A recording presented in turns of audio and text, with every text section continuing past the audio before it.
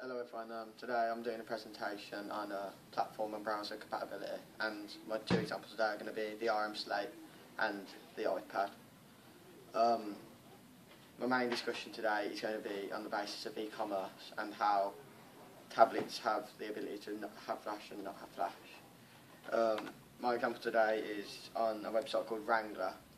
Um, the content in it is um, that is programmed through Flash to be this amazing website and yet the iPad doesn't have the ability to be able to display the website um, requesting for a flash download.